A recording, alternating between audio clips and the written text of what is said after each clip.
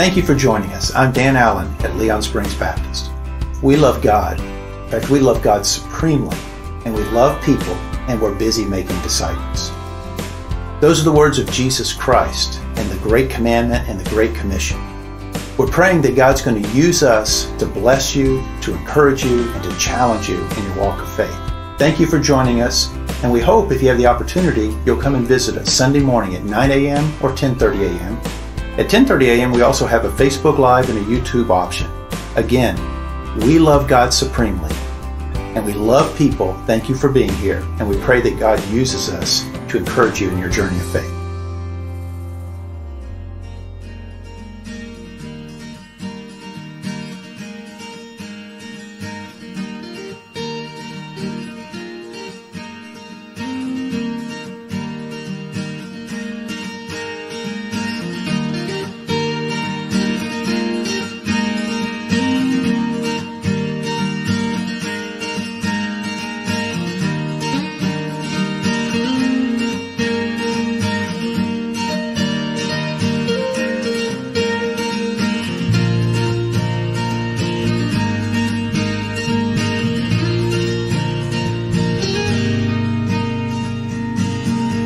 Good morning, everybody.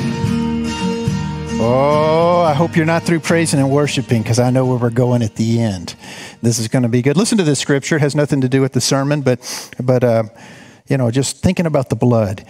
Ephesians 1 says, In him we have redemption. That means we've been bought back. Our slavery has been bought back and we've been set free. In him we have redemption through his blood the forgiveness of our trespasses according to the riches of his grace. I want to say something before we get into the sermon about why we sing about the blood. And as Tim said, we are a gospel preaching, a gospel singing church. And today, there's a whole lot of people, I would even say wolves in sheep clothing, that talk about the love of God and the goodness of God and the mercy of God, and we're people of faith. But in case you ever move on from here, you go somewhere else, listen.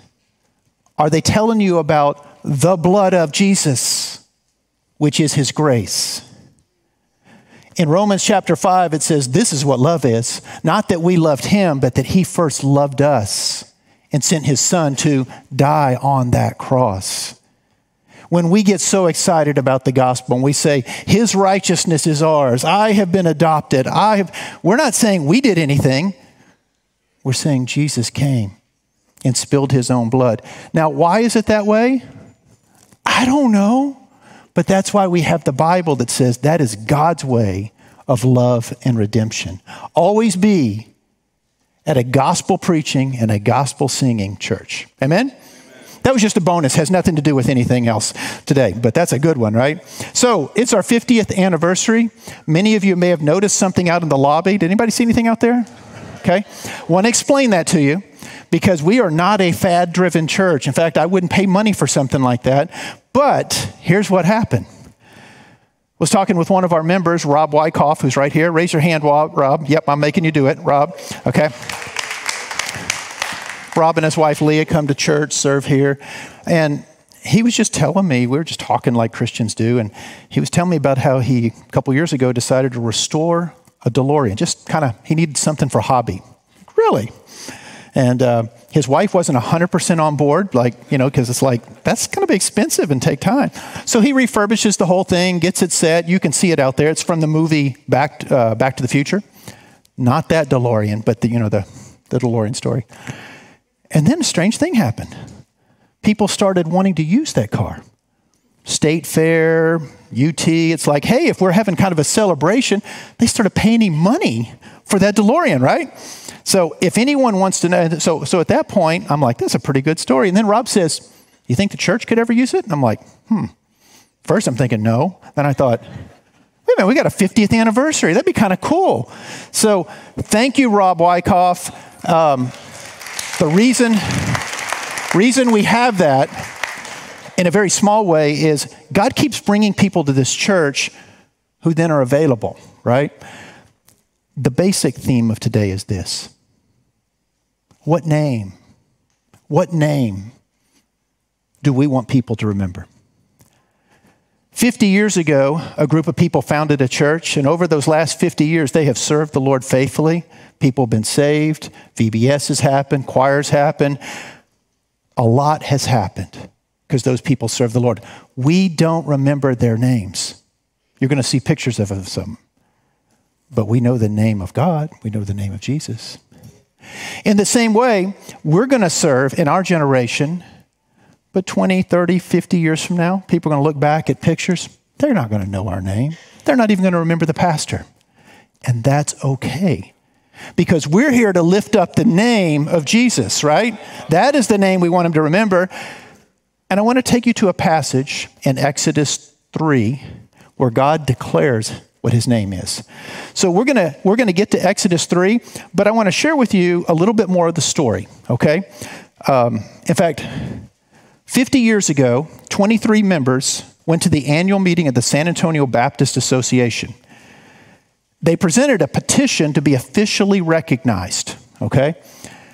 The executive director for the San Antonio Baptist Association was here in the first service. So they presented the, the petition, and in a classic bureaucratic whoops, they said, Well, we don't have any record that you're actually a church. And so for the first day, they didn't recognize him, but they cleared it up, and the next day, they officially recognized this church 50 years ago, mid October. Praise God. It began with a pretty small group. They were meeting in an elementary school in Leon Springs, not the one you see now, but the old one. And folks, back then, this was the country. San Antonio was not inside Loop 1604, it was all the way inside Loop 410. There was not a gospel centered, gospel preaching church out here. People have been praying. They started the church in the elementary school. Then they purchased this land for $12,000. Oh, that we could go back in time and say, buy more, buy more, buy more, right? But the decisions they made, the seed that they planted, we are harvesting those benefits. Take a look at some of these pictures. I'm going to tell you a few stories. This, as it says at the bottom, this tree was on this property. The early church members had worship service under that oak tree on this property. Isn't that cool? Let's go to the next one. This is the original sanctuary. Uh, you can see it was called First Baptist Church because isn't that what Baptists do? We're the first Baptist here, first here, first. I don't know why we do it, but that's what we do, right? First in Boerne, first in Fair Oaks, first in San Antonio. The original building, worship center, is right there. Now, if you go out and you see that little green patch, that, that nice courtyard, on the other side is what we call the Soul Cafe. That was the original worship center. Okay, let's go on. This is a picture inside that Soul Cafe, the original one. And don't you love it? I mean, there's suit and ties, there's, there's uh, pews, there's the little table. Boy, did I grow up with that. If you were Baptist, you recognize all that. I love the banner at the side. It says, free because he lives. They didn't know, but here we are. Freedom Biblical Counseling, freedom in Christ, free. How cool is that? Let's keep going. Reasons to build. In the mid 1970s, uh, they had that building. Look at that little tiny parking lot. They started parking on the grass, and they decided to do something together we build. They decided they need a sanctuary with stained glass and all that. 39 families, after prayer, said, I'll sacrifice. And they built that sanctuary and some of the stuff that we live in now. They sacrificed. We don't even know their names, but Jesus is honored. Now, this one, I love this one, 1981. So that's the new sanctuary with the chapel, the stained glass. On the roof is Christ is the answer. There's a local airport, a little small airport. Pilots can go over and they're like, I know that. People driving by. That's it. And notice it doesn't say a fuzzy, God loves everyone. It says, Christ is the answer. I love that. Let's keep going. Like these two pictures, more sacrificing in the 90s. They built the education building, um, then they built the gym. I want to tell you a little bit about this next one Reaching Kids for Jesus Christ our Lord. That's Debbie Burrier. Debbie's been with us a long, long time. Um, well, praise to God and thank you to Debbie. Earlier this year, I got a call from someone out of state lady named Stephanie. Stephanie had heard that a storm had knocked the roof off Debbie Burrier's house, and she wanted to make her sure her church was still taking care of Debbie, okay? But then she started telling me this story. She said, When I was 10 years old, my, my family didn't go to church, but we drove by that building. And my mom driving by said something like, You kids really need church. Stephanie, 10 year old, saw Debbie Burrier out there blowing up balloons for VBS, and she's like, I go to church like that. That'd be fun. So she came to VBS. She met people that loved Jesus, but more importantly, she met Jesus at that vacation Bible school. Saved, baptized, went home. Her sister came. Saved, baptized, living for God. The mother comes. Saved by Jesus, the power of his name. Here we are 40 years later, and she's telling me the story about how her whole family is different because Jesus saved them.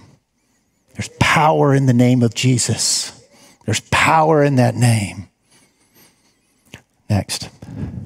On a lighter note, I hope. Next one. No? There it is. The arts, the early years. Tim will never do this to you, okay? They're doing the best they can with what they had. But you got to love it. The guy, and if you're looking at the three wise men, you know, with the fake beard, the other one, that other one in gold, that's John Nelson, our now chairman of deacons. Isn't that great?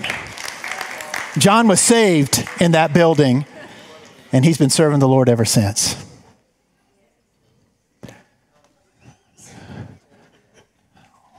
What they did, we're now the beneficiaries of. They wouldn't want us to know their names. They would want us to lift the name of Jesus high. In Exodus chapter 3, a couple weeks ago, I talked about why we built this. And you can go back and listen to the sermon. But the short answer is we didn't have to build this, we had room in the gym. We built this because we did 40 days of prayer and fasting, and we believe God told us to build this for a specific reason to reach people for Christ, to train people, right?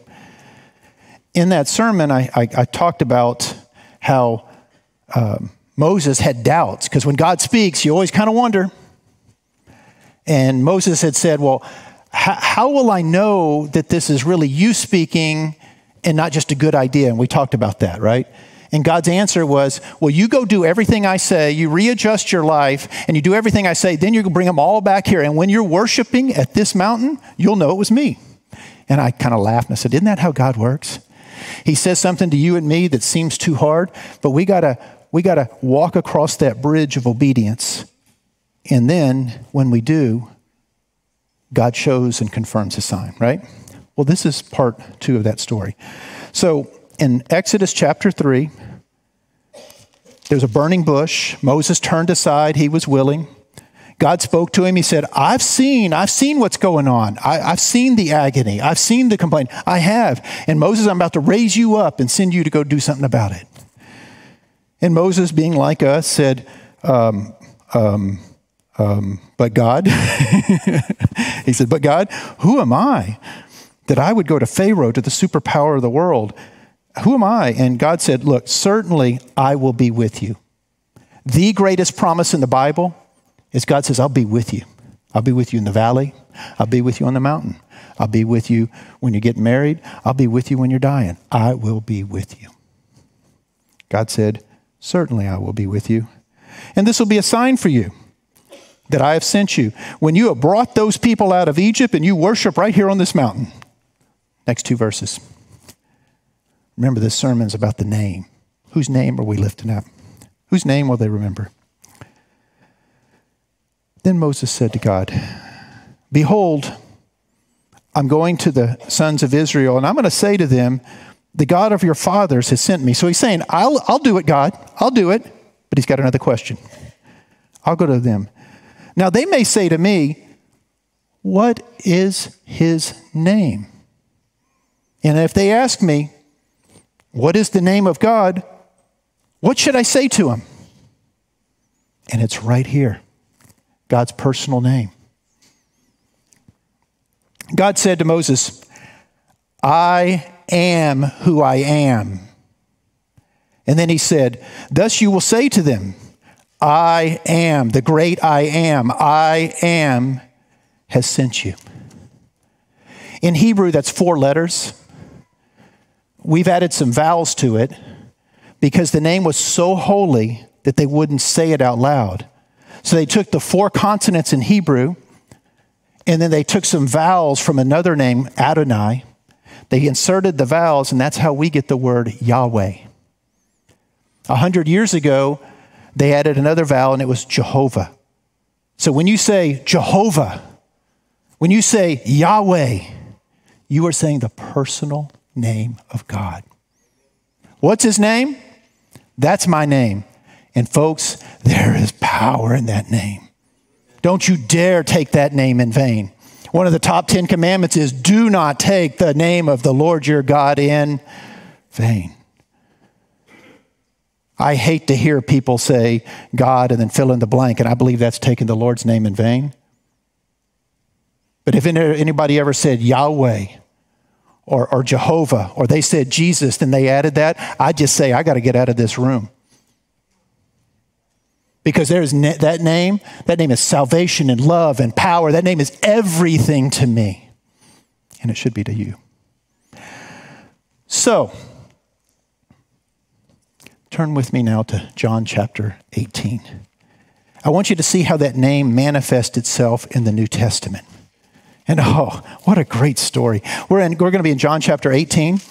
Um, but I got to tell you, along the way, Jesus uses the name I am. He basically makes it himself like six times in the New Testament. As an example, one time the Pharisees are like nagging at him and trying to, you know, kind of drag him down. And he says, Look, this is Jesus. Jesus says, Look, before Abraham existed, I am. That's what he said. Before y'all are y'all are telling me how great Abraham is. Before Abraham, I am. The Pharisees understood it so well, they reached down and picked up stones and were ready to kill him. There was no misunderstanding. Jesus is not saying I'm a good teacher. He's saying, the great I am, it's me. He's the God man, He's God in human flesh. That's why we are never ashamed of Jesus or His name. That's why we declare the name of Jesus, say, Worthy, worthy, worthy. Oh, but I get ahead of myself. John chapter 18. So at this point, Jesus, who knew why he came, he came to rescue us. I got to tell you, fingernails on a chalkboard is when people tell me, Why does God send people to hell? What are you talking about? Jesus came to rescue people from hell.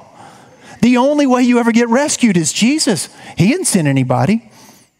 That is a choice people make. Listen to this it's, it's the garden. Jesus has had the Last Supper. He knows what's coming. Judas shows up. I'm in chapter 18, verse 3. Judas shows up. He's got a Roman cohort with him. Not a Roman soldier, a cohort. Roman soldiers, swords, a whole group of them. Verse 3 Judas arrives with a Roman cohort and officers from the chief priest and Pharisees, and they came there with lanterns and torches and weapons. Can you see it? Right? Jesus had said, Hey, Peter and John, hey, you guys pray for me. And they kept falling asleep. Here comes a mob. It's time. So, Jesus, knowing, remember, this is all about the name. This is so. Oh. So, Jesus, knowing all things were coming upon him, all he knew it. He went forth. He walks up to the crowd, to the Roman cohort, to the mob coming to arrest him, and he says, Who do you seek? Now, listen to what they say. They say, We're looking for Jesus the Nazarene. We're looking for the guy named Jesus. That's his human name. Jesus the Nazarene from Nazareth. And he says to them, He says to them, I am. Now, your version probably says, I am he, but you'll notice the he is in italics. That means it's not in the original Greek. That's so we can understand. What he said is, I am. The God who spoke to Moses, the God of all eternity. Jesus says, I am. What? No, no, it gets even better. It gets even better. Hold on. I am. And Judas also, who was betraying him, was standing there. So you got Judas, the cohort, all this mob, weapons. And he said to this, when he said, if I'm in verse 6, when he said, I am, they drew back and fell to the ground. Roman soldiers before their prisoner, all these officers, pharaohs, any Pharisees, they fell before the prisoner because he just said the name, I am. Is there power in that name? Oh, yeah, wait, it's not over. It's not over. Therefore, the, he again said, Who do you seek? Can you imagine? Uh, uh, we're looking for that Jesus, Jesus the Nazarene. And Jesus answered, I told you that I am. He's using the very pronoun name of God Almighty. I am. And watch this. Here's why he's doing it. So if you seek me, you will let these go. See, he had his disciples with him. And a prophecy, which is in verse 9, says, Of those whom you have given me, I did not lose any of them. That mob wasn't in charge. Satan wasn't in charge. Jesus was in charge even at the moment they arrested him. Oh, don't ever be ashamed of the name of Jesus Christ. When Jen and the team get up here and say, Worthy, worthy is the Lamb, they're already doing that in heaven. If we could see the invisible realm, here's another story Mark chapter 1. Let me go back there. And in the notes that I leave out there, I have all these scriptures so you can go read them yourself. Mark chapter 1, way early in his life. Jesus is just starting, and a, a man in the synagogue has an unclean spirit. He has a demon. When Jesus comes in, oh, if we could see in the invisible realm, we would instantly confess Jesus. Instantly. So Jesus comes in, there's a man with an unclean spirit, and the demon cries out. It's in verse 24 of Mark chapter 1. What business have we with each other, Jesus of Nazareth? Have you come to destroy us? I know who you are. You're the Holy One of God. The demons already know, and they're already submitted. Jesus rebuked that demon and said, You be quiet and come out of him. A couple verses later, the people are, it says the people were amazed. Yeah, I'll bet. But then they debate among themselves What is this? A new teaching and with authority. Oh, there is name. I mean, there's power in the name of Jesus. Another scripture Matthew chapter 6, verse 9. Jesus is teaching us to pray. Because, hey, we get kind of confused. We start looking at our circumstances and we forget there's an invisible world and a God we will answer to. So, how do you pray? Jesus says, Well, you do this. First of all, you remind yourself of who He is, our Father who art in heaven. What's the next one? Hallowed be your name. When you start your prayers, you ought to start with the name of God. God, your name is power. You are Jehovah Jireh. You are my provider. You are my Father. You are the King of kings. You are the Lord of lords. You are the God of all comfort. You are the Father of mercies. You ought to begin your prayers with the name of God because the moment you start there, the rest of your prayer falls into place. Oh, there's power in the name. In Philippians chapter 2, which is on the back of your notes, it says this. Therefore, God has highly exalted Christ and bestowed on him the name that is above every other name, so that at the name of Jesus, every knee will bow and every tongue will confess that Jesus Christ is Lord. You and I get to do that. We're going to have tears of joy in our eyes. We're going to be like, yes, yes, yes. Other people are going to be like, Dan told me. I grew up in church. I didn't think that was real and it'll be too late. Now, you may think, oh, that's so emotional. Yeah, it is. There is salvation in no other name under heaven, Acts chapter 4. I am not ashamed of the name of Jesus Christ. By grace, you are saved through faith. It's nothing you did, no works. You can't earn it. You can't be good enough. You can't buy it. By faith, you are saved through grace. Because he loved you. By his blood, by his grace. You're probably like me. You know all of this. You hear a sermon like this, I'm going to the mission field. I'm going to write, I'm going to tell everybody. Then a few days later, we have a fight with someone we like, and pretty soon we're looking at circumstances again. Does that mean that today wasn't real? No. What God says to you in the light, you don't doubt when you get in the dark valley. This is the truth. But going through this world is hard, isn't it? Peter got out of the boat and he saw the waves and the wind. Jesus was right there, but he didn't look at Jesus. He looked at the waves and the wind. That's what we do. Today's a message that I hope will burn deep in your heart. So when you're in the valley, when you're in the storm, you'll just say,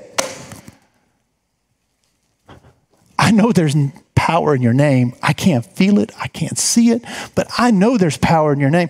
God doesn't want your correct thoughts, He wants the trust of your heart. So I will lift my hand and say, There is power in the name, and I'm calling on Jesus. I know when our kids got frightened at night, had nightmares, Amy taught them, You just say the name of Jesus out loud. Now, that doesn't make sense if it's not real. But how many of you have told your kids the same and seen it happen over and over again? They declare the name of Jesus and the peace floods their soul. Or the enemy rises up and pushes harder, and the enemy always overplays his hand. Oh, there is power in the name. Listen to what, a couple more things, then we'll wrap up. We have these ambassador cards. For some of you, you're already Christians. You're like, get to the point, Dan. I can't wait to sing. I get it. I get it. Some of you are on the fence. You're like, well, I want to be saved, but I don't want to get radical. And some of you don't even, you're like, this doesn't sound like what I grew up with. This isn't religion.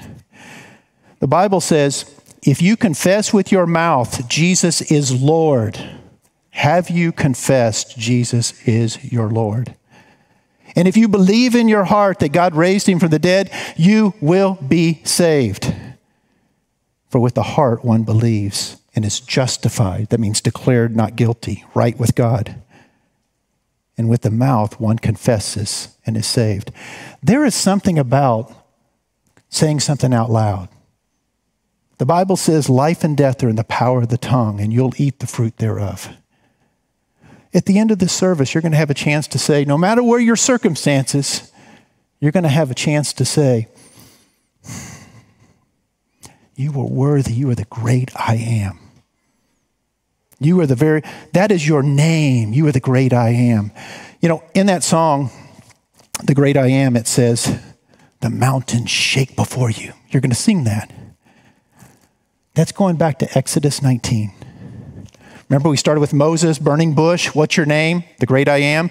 Moses goes to Pharaoh, does all the miracles, comes through the Red Sea. Now we're back at the mountain. God says, Now, Moses, go tell all the people, consecrate yourself. Three days, consecrate yourself. Make yourself holy, right? Get set a right. And then come up to the mountain, but don't cross that barrier. You cross that barrier, you're going to die. Because I'm a holy God. I'm light, and you got darkness in you. So they come and they're all around Mount Sinai. And the Bible says on Mount Sinai, where the Ten Commandments are going to be given, fire comes down. Fire? Wait a minute, in Pentecost, when the Holy Spirit came, wasn't it also fire? And it was tongues of fire, and it came inside us. Well, in the Old Testament, fire came down on that mountain, and it says smoke went up like a furnace, and it says the mountain quaked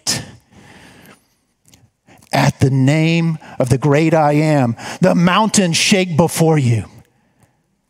I believe that also means the mountains in your life. That circumstance that won't change, that health issue, that, that sin problem, that whatever it is, that mountain that won't go away, that mountain shakes before the name of God. And He will remove it and cast it into the sea. It'll be in this lifetime when He's ready, or when we get to heaven and we'll say, God, your way was right. Because even though that mountain didn't go when I wanted to, you were with me, and that was more than enough. Right? In that song, the mountains shake before you, the demons run and flee. Well, we just read that. The demons do, they already know.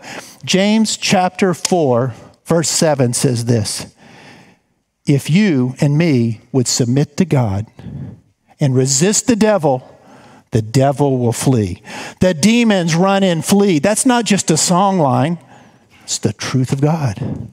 Next verse draw near to God, and he'll draw near to you. So we're about to wrap up. For those of you that sitting on the fence, you need to stop sitting on the fence. God can do so much more with your life if you turn it over to Him.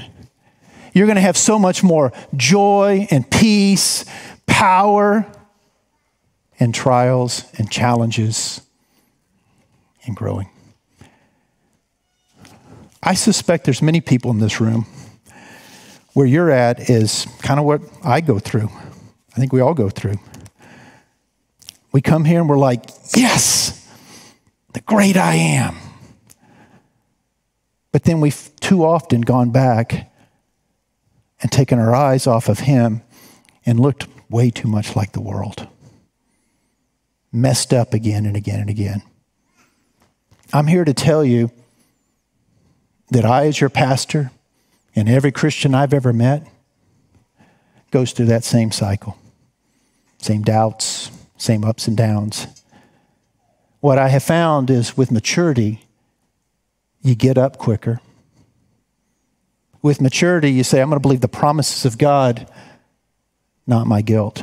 The Bible says there is no condemnation for those who are in Christ. So why are you condemning yourself?